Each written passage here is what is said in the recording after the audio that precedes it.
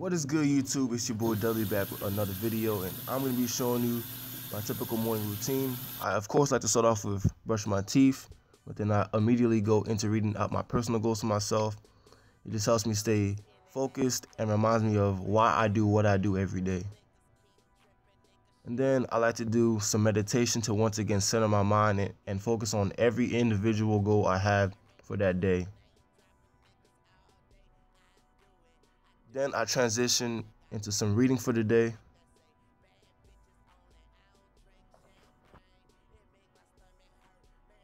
And eventually I get on my knees and pray to God and thank Him for another day to be alive, but more importantly, another opportunity to be great and impact lives. And of course, I like to start off my day with a green alkaline shake, ginger, kale, spinach, and apples. And this shake gets me going for the day, guys. It's like drinking a battery.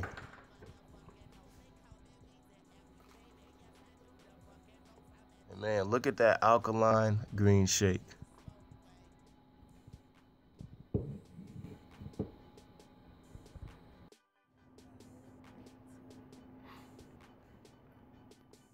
And then I drink my shake and I go for my first workout of the day.